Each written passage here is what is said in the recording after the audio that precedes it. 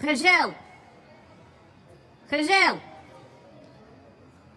Grande PSD, pá! Grande PSD! És o exemplo de Portugal, pá! Uh! Olá pessoal, sejam muito bem-vindos a mais um vídeo aqui uh, neste fantástico canal. Obrigado aí a todos que têm acompanhado e vocês viram esta intro, não é?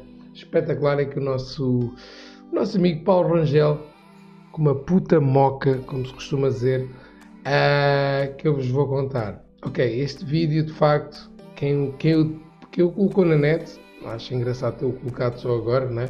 Porque este vídeo não é atual, tem uns anitos, mas ele não está. Uh, porque é assim, por acaso este senhor, uma coisa tem que, tem que admitir, ele envelheceu de uma forma muito rápida, estão a perceber? Mas ok, então, como não é, o vídeo vem, vem, vem cá para fora, esta porra tornou-se viral completamente e o senhor arrebatado reage da seguinte forma: uh, um vídeo depois do excesso num jantar com amigos há anos em Bruxelas,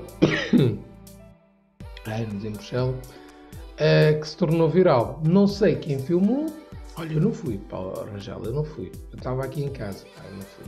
Ai, é verdade, nessa noite não estava na Bélgica, estava na Suíça, caralho. Eu não fui, ok. Tenho certeza que eu não fui. Uh, não sei quem filmou, guardou, só agora divulgou. Pois, lá isso é uma grande verdade. Paulo Rangel, concordo contigo. Filmaram isto e só agora é que divulgaram. Deixa-me adivinhar, deixa-me adivinhar. Cá para mim, quem filmou uh, deve ter perdido o telemóvel e alguém apagou o telemóvel. Não, deve ter perdido o telemóvel e durante estes anos uh, teve essa relíquia no seu telemóvel e alguém apagou o telemóvel e viu. Ei, caralho! Olha quem ele está com uma puta de uma moca, meu, para o Rangel. Esta merda vai já para a net. Pronto.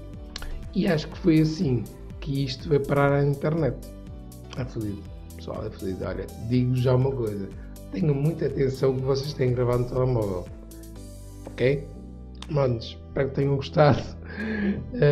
Um, eu não vou estar aqui a bater muito na cabeça, porque acho que não tenho que estar a bater, estão a perceber? Acho que uh, cada um tem que saber ocupar o lugar, o lugar que ocupa.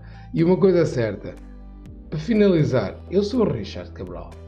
Sou um simples, sou uma simples pessoa, mas não sou nenhum deputado, nada disso.